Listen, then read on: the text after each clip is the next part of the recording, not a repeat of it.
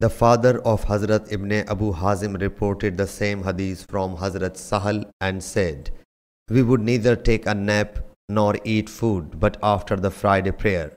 Sahih Bukhari, hadith number 939.